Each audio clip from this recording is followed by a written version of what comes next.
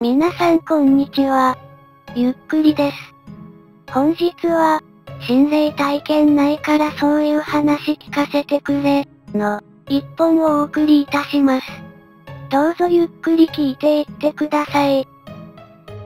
自分が霊感あるやつとか周りに霊感ある人がいるやつとか、どんな体験したことあるかとか教えてほしい。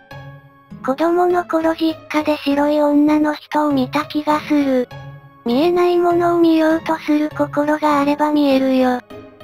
昔住んでた家は1階に誰もいないのに、階段上がる音やドアが勝手に開いたりしてたな。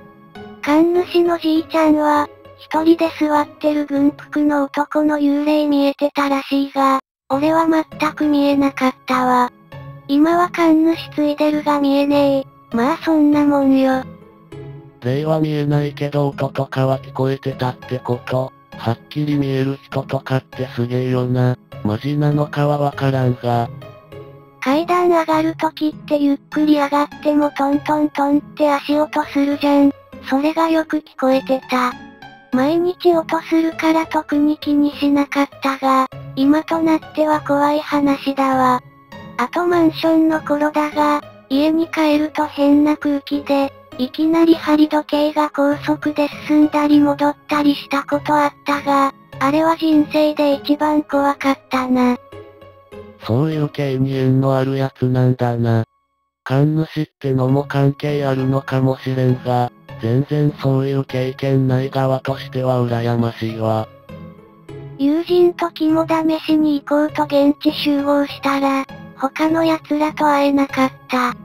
でも連絡取ったらすでにいるって話だし、怪しんで現場の写真も送ってもらったが、俺のいるはずの場所に誰も写っていなかった。怖すぎだろ。その場所有名なの？それからどうした？ネットで調べたらそこそこ有名だった廃旅館。最初はお互いに相手をはめてるんだと思って、面白がってたんだけど、だんだん違和感出てきた。そんで何回か電話したり写メ撮って送り合ってたら、俺の携帯の充電切れたから、俺だけビビって先に帰宅。友人も連絡つかなくなった俺を心配して俺の家に来たりしたけど、特にその後心霊体験とかはなかった。その時の写真は？古い携帯だから今はデータがないが、俺が座ってたはずのベンチと車止めてた場所、廃旅館の入り口周辺くらいは撮ってたかな ?8 年くらい前の話だからところどころ抜けててすまん。不思議だな。よくそんな体験できたもんだ。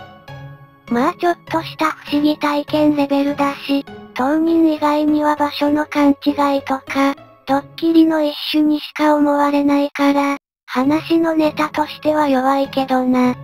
ただ当時は神隠しってこういう風に起きるのかって本気でビビってた。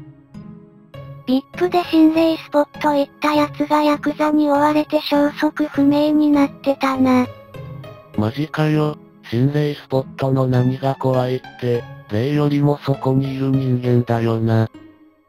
前職介護だったけど、夜中に廊下からスリッパの音がしたから様子見に行ったら、誰もいなかった上に、全部の部屋回ったけど全員寝てたってのはあった。あと人が亡くなった翌日、その部屋がすげえ線香臭かったってのもあった。前者は俺しか聞いてないから空耳かもしれないが、後者はその日出勤してた職員全員が確認してるから間違いない。介護とか医療とか、そういうのに携わる人はやっぱりそういう経験しやすいんだな。不謹慎だとは思うけど体験してみたいわ。小さい頃住んでた家の前は、信号もある交差点なのに、結構な頻度で事故起きてたな。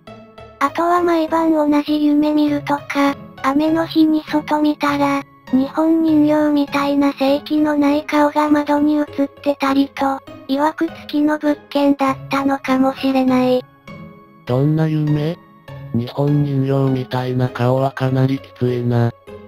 魔女に追いかけられる夢で、自分の家がすごい入り組んだ迷路みたいな先にあって、一度だけ逃げ切れたんだよ。その後扉どんどんされて、開けたらダメって言ったけど、母ちゃんが開けちゃうんだよ。その3年後くらいに母ちゃん死んじゃったけど関係ないかな。あとは同じ時期に、母ちゃんがどっか遠くに行ってしまう夢を見たけど、未来予知的なものだったのかもしれないな。無神経な質問で申し訳ないんだけど、お母さんの亡くなった理由は病気かなんか？心臓病かな？入院して1週間も経たず行ってしまわれた。家族が死ぬ夢とかは俺もたまに見るから怖いな。ちなみにお母さんが夢の中でドアを開けちゃうと、その後はどうなったとか覚えてる？結局追ってきた魔女じゃなくて知らない人が入ってきて終わり。顔も覚えてないし、男か女かもわからなかった。アパートで一人暮らしだが、夜寝てたらガチャって玄関のドアが開く音がして、えなんで開くの？と思って、起きて玄関の方見たけど、ドアは開いてなくて、なんだ夢か勘違いかと、また寝たら、すぐに今度はシャワーが、じゃあ、って流れる音がして、起きて、おいおいまた夢かよと思って一応起きて確認したけど、もちろん水が流れた後すらなくて、もう一度寝ようと布団を見たら、布団の上に、正座した髪の長い女がいて、こっち見てた。絶叫しそうになって気づくと寝てて、全部夢だと知った。変な汗だらだら出てたけど、ひとまず安心してたら、玄関のドアがガチャ、次にシャワー、え、と思う間もなく、布団の上に髪の長い女がいつの間にかいた。絶叫しそうになって気づくと寝てて、全部夢だと知った。これを10回くらい繰り返した後、目覚ましが鳴って本当に起きた。小さい頃は疑問に思わなかったけど、白い服の男が家にいて、壁をすり抜けていた。別にそれ以上のことはない。体格は細身で、身長が高い男、顔はよくわからん。いつも家にいたの？日常的にいたよ。水平に移動するか、立ってるだけだった。引っ越したらいなくなったから、そのアパートにいたものだと思われる。すげえ、なんで不思議に思わなかったのかが不思議だけど。その白い男以外に今まで例見たことある？瞳が一つこちらを見ていたことならある。子供の妄想かもしれないけど。実家で弟が霊を見たらしいが俺は一度も見たことない。おじいちゃんが死んだ時夢に出てきて手を振ってた。下半身不随のはずだけど立ってた。一つだけ、母親が癌で闘病中に夢を見た。緑の蛇が出てくる夢。いつもの夢はモノクロなのに、その時見たのは鮮明な緑色の蛇。その数ヶ月後母親は亡くなった。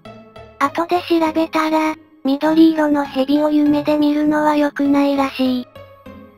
深夜に友達と二人で廃墟探索に行った。すごく大きい公園の中にある廃墟で、周りの柵をなんとか乗り越えてやっとで忍び込んだ。懐中電灯を照らして中を探索して、しばらく経った頃、建物外で明かりが動いてるのが見えた。巡回の警備員が来たかもしれないと、こちらの懐中電灯を消して、座り込んで息を押し殺して、そいつがいなくなるのをひたすら待った。そのうち足音が聞こえて、それがだんだん大きくなって、足音が廃墟内に移って、真っ暗闇の中、目の前を足音だけが通り過ぎていった。俺も友達もガタガタ震えるほどビビって、足音なくなってから急いで逃げ帰ってきたな。小さな不思議体験って思い返したら割とみんな持ってるもんだよな。それは実際には科学的に説明ついたり、思い違いだったりすることもあるけど、その中に本物が混じってると夢があるよな。終わり。